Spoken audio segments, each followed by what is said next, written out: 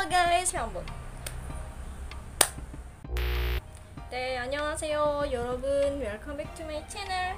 Masih bareng aku, Norma Yuningsi di channel ini tentunya dan kali ini aku bakalan ngasih tahu ke kalian tentang gimana sih pertama kali aku tuh bisa tahu Korea tuh dari mana gitu. Terus kapan gitu. Dan apa yang membuat aku tertarik dengan Korea. So, langsung aja kita ke pertanyaan yang pertama. Kapan sih aku bisa ketemu dengan Korea atau mengenal Korea? Oke, jadi pertama kali aku eh, tahu Korea itu waktu aku kelas 6 SD. Jadi aku punya abang. Abang aku itu sekolah di sekolahan yang emang ada bahasa Koreanya. Terus aku ngedenger dia sering kayak ngucapin kata-kata yang aneh gitu, ngafalin kata-kata yang aneh gitu kan. Kayak chariot, kyongne, terus ya segala macem lah. Nah pas itu aku nanya kayak itu tuh bahasa apa dan abang aku jawab itu bahasa Korea. Nah dari situ pertama kali aku ngedenger yang namanya Korea. Karena emang pada zaman itu kan tahun-tahun itu Korea belum terkenal seterkenal sekarang gitu kan. Nah sejak itu kayak ya udah oh Korea toh gitu. Terus ya udah gitu aja gitu. Kalau misalnya ditanya apa sih yang membuat aku jadi jatuh cinta sama Korea bahkan sampai detik ini ya aku malah jadi uh, K-popers gitu. Oke, jadi gini. Kenapa aku bisa suka sama Korea itu karena bahasanya. Jujur ya. Jadi pas kecil itu kelas 6 SD itu, aku kan suka banget ya belajar-belajaran kayak uh, main peran gitu loh, jadi guru, terus jadi dokter. Nah pas itu kebetulan aku tuh lagi beresin buku punya abang aku yang udah nggak kepake. Nah dan aku tuh nemu buku tulisan abang aku, jadi bukan buku yang bukan buku paket atau apa ya, jadi emang hanya buku tulisan biasa gitu yang abang aku tulis dan pas aku baca ternyata itu bahasa Korea gitu. Nah dari situ aku mikir kayak hmm, kayaknya kalau misalnya buku ini aku pelajarin lucu juga sih gitu. Jadi aku simpen tuh, aku keep tuh buku kan pas itu aku masuk SMP nah karena aku itu emang tipe orang yang introvert ya. Jadi aku nggak punya banyak temen selalu ngabisin waktu aku tuh di kelas. Walaupun jam istirahat atau apa tuh aku emang lebih suka di kelas gitu. Nggak tahu kenapa lebih suka sendiri aja gitu. Nah pas aku lagi bete kayak gitu tuh aku tuh cari kesibukan apa gitu loh.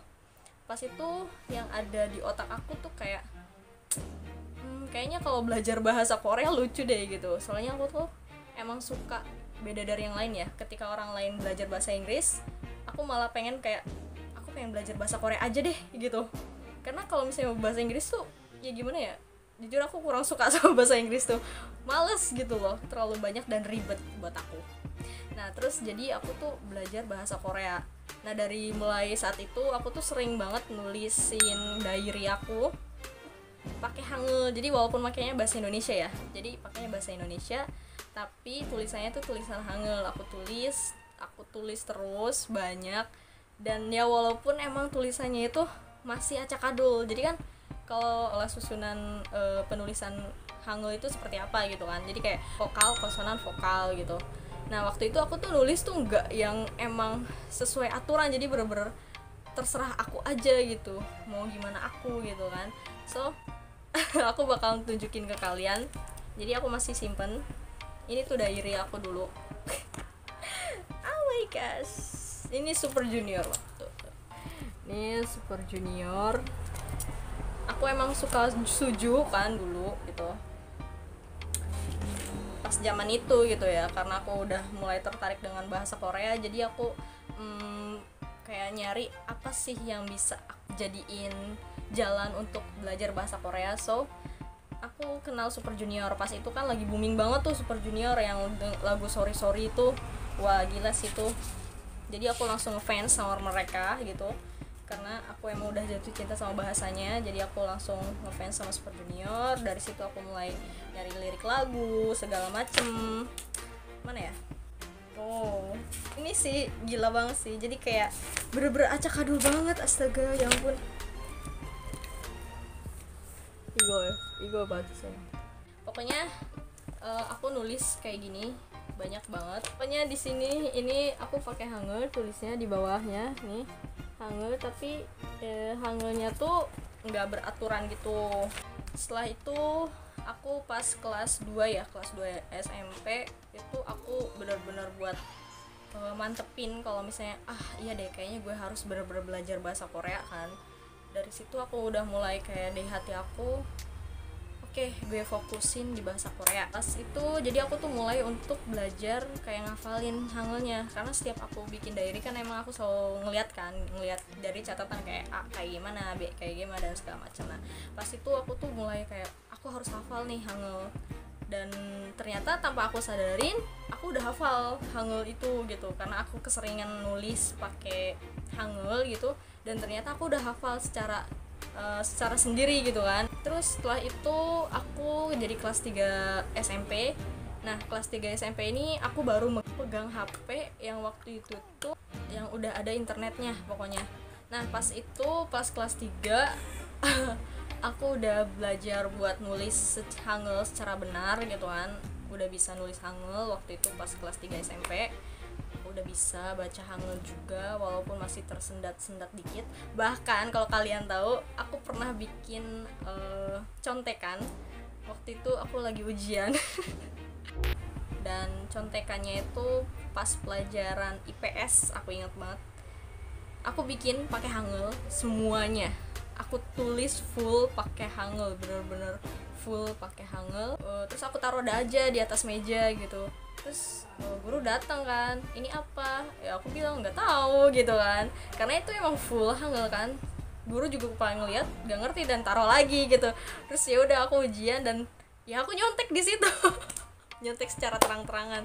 Dan ternyata aja jawabannya loh yang aku catat di situ. Bersyukur banget sebenarnya gitu. Jahat ya aku emang bandel. Aku tuh agak bandel anaknya. Pas sudah gitu sekarang aku uh, masuk SMA gitu. Di sana aku banyak ketemu K-popers yang lain juga. Dan aku senang uh, dan aku malah tambah ingin untuk belajar bahasa Korea. Karena jujur ya aku emang belajar bahasa Korea itu otodidak jadi nggak belajar ke kursus ke mana-mana. Jadi emang aku benar-benar belajar sendiri mengerti sendiri cari tahu sendiri serba sendiri. Apalagi sekarang kan udah apa udah zamannya Android internet banyak lah gitu ya. Gampang banget buat nyari materi di mana-mana apalagi di YouTube gitu. Jadi menurut aku buat kalian yang apa namanya suka K-popers atau K-popers baru terus pengen belajar bahasa Korea tuh gampang banget sih buat kalian gitu yang sekarang.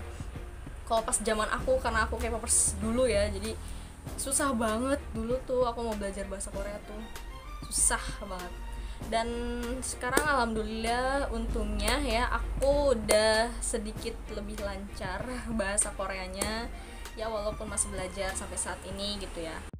Dan pokoknya setelah uh, sekian lama berarti berapa tahun tuh aku belajar bahasa Korea? Dari SD sampai sekarang ya kurang lebih 10 tahunan lah kali ya. Aku nggak tahu dan tulisan aku jauh lebih baik sekarang. Karena jujur emang pertama kali aku jatuh cinta sama Korea itu karena bahasa sama budayanya. Jadi ya ya gimana ya? Ya aku emang suka sama budayanya dulu gitu sama bahasanya dulu. Terutama aku udah suka sama bahasanya nah habis bahasanya aku nonton drama gitu kan. Waktu dulu kan emang ada drama ya walaupun dramanya tuh emang udah didabing bahasa Indonesia sih gitu.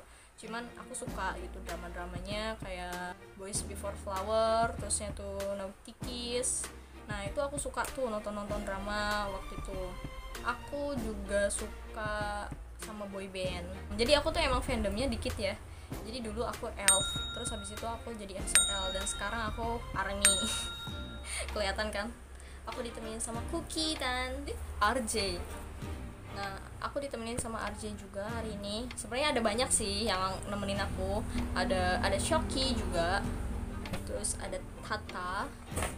Tapi emang nggak masuk frame gitu karena nggak muat. Mau gimana lagi dong? So ya segini aja kali ya video dari aku. Dan buat kalian kalian komen di bawah kenapa sih kalian tuh suka sama Korea dan apa gitu dan kapan kalian pertama kali tahu Korea aku penasaran sama cerita kalian gitu so sekian aja video dari aku jangan lupa untuk subscribe like comment dan juga share ke teman-teman kalian Uh, terus jangan lupa nyalain juga lonceng notifikasinya supaya kalian tahu kalau misalnya aku tuh upload video baru. Sekian aja. Bye bye. Annyeong, toman na yung.